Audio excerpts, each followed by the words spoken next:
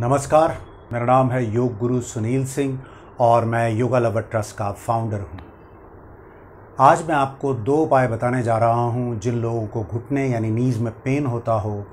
पहला उपाय है, वो नी हीलिंग ड्रिंक है और दूसरा एक योग का सरल अभ्यास। ये ड्रिंक क्या है? इसके लिए आपको क्या करना होगा?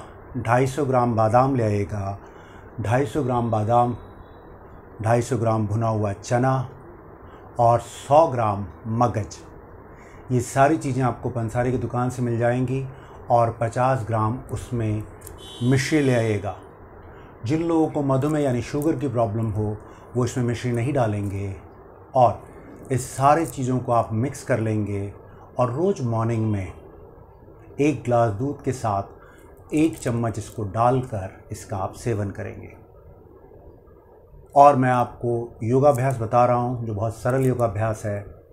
इसमें आपको क्या करना होगा, आपको एक तकिया लेनी होगी और आप पीठ के बल लेट जाएँगे और इसको हम योग में सेतुबंद कहते हैं। अपना, आपने क्या करना है, ये तकिया अपने दोनों घुटनों के बीच में स्क्वीज़ कर लेंगे या दबाव डालेंगे और लंबा गहरा सांस भरते हुए ऊपर के उठेंगे। हमारा चिन्ह जो होगा, हमारे चेस्ट को स्पर्श करेगा और अपने घुटने से हम इस तकिए को, पिलो को स्क्वीज़ या दबाव देंगे। पाँच सेकंड रुकेंगे और वापस आएँगे और कम से कम इस क्रिया को हम प्रेशर डाल के रखेंगे और कम से कम इस क्रिया को हम पंद्रह बार करेंगे। यदि आप लगातार इसका अभ्यास नहीं कर सकते हैं तो आपने वन गो में आप ऊपर उठे, इसको दबा के रखा ब्रीदिंग नॉर्मल और 30 सेकंड तक होल्ड किया। प्रेशर को मेंटेन रखा, पिलो को अपने दोनों नीज से दबाते रहेंगे और उसके बाद वापस आएँगे और 30-30 सेकंड के तीन अभ्यास करेंगे। या आप चाहें तो डायनेमिक 30 टाइम्स कर सकते हैं या 30-30 सेकंड्स के तीन बार इसको अभ्यास करेंगे।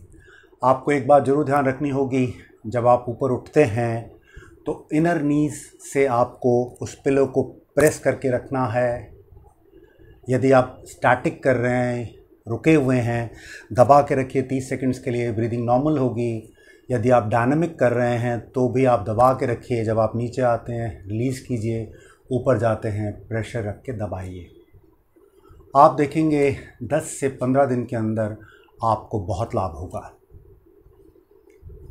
अगले प्रोग्राम में किसी और विषय के बारे में बताऊँगा, लेकिन उससे पहले आप हमारा चैनल सब्सक्राइब करना लाइक करना ना भूलें। धन्यवाद नमस्ते।